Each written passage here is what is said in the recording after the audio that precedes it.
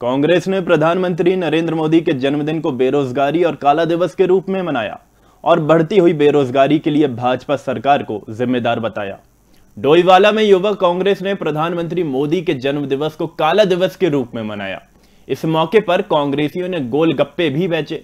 युवा कांग्रेस नेता सावन राठौर ने कहा कि मोदी सरकार ने युवाओं के साथ छलावा किया है।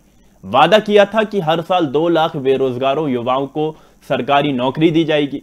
काला धन वापस आएगा और हर व्यक्ति के खाते में पंद्रह लाख रुपए आएँगे। पेट्रोल पैंतालीस रुपए लीटर मिलेगा। रसोई गैस सिलेंडर सस्ता होगा। महँगाई कम होगी। लेकिन नौ वर्षों से ज़्यादा बीजेपी सरकार को केंद्र में बने हो गए, लेकिन एक भी वादा पूरा नहीं किया। इसलिए युवा कांग्रेस देश भर में आज का दिन बेरोजगार काला दिवस के रूप में मना रही है। जो उन्होंने वादे किए थे, आज हम उनको ये वादा दिला रहे हैं कि आज बेरोजगारी दिवस हम क्यों मनाना पड़ रहा है हमें?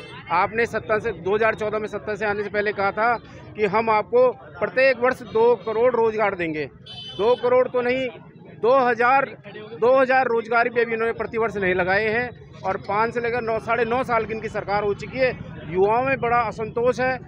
एमए पास लड़के हमारे ग्रेजुएट करे हुए लड़के एलएलबी करे हुए लड़के बीएमएलटी किए हुए और न जाने कितने कोर्स डिग्री कोर्स कर करके घर पे बैठे हुए बच्चे। आज उन्हीं बच्चों की तरफ़ से यूथ कांग्रेस के विधानसभा अध्यक्ष द्वारा और यूथ कांग्रेस डोयाला के द्वारा ये बेरोजगार दिवस के रूप में ये मनाया जा रहा है।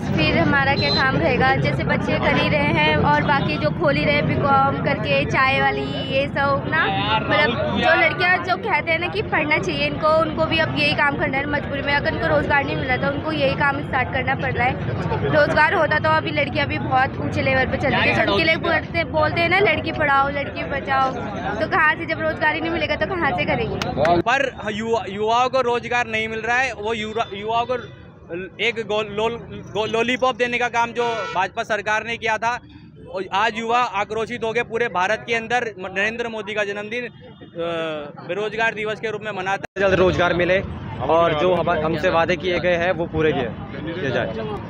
आए का फिर यही प्लान रहेगा कि गोलगप्पे बेचेंगे, इसी तरीके से काम करेंगे। जैसे कभी कोई चाय वाला, कि एमए चाय वाला, और कोई गोलगप्पे बेच रहा है, कोई ग्रेजुएशन वाले Rabindranath Tagore University Bhopal, only private university in MP to be NIRF ranked for five consecutive years. जहाँ है 600 से ज़्यादा company tie-ups for placements, Atal Incubation Center for nurturing startups, Industry Academia collaboration for exposure of real industry world, 20 centres of excellence for research साथ ही global festival विश्व रंग में शामिल होने का अवसर देता है Rabindranath Tagore university unlocking potential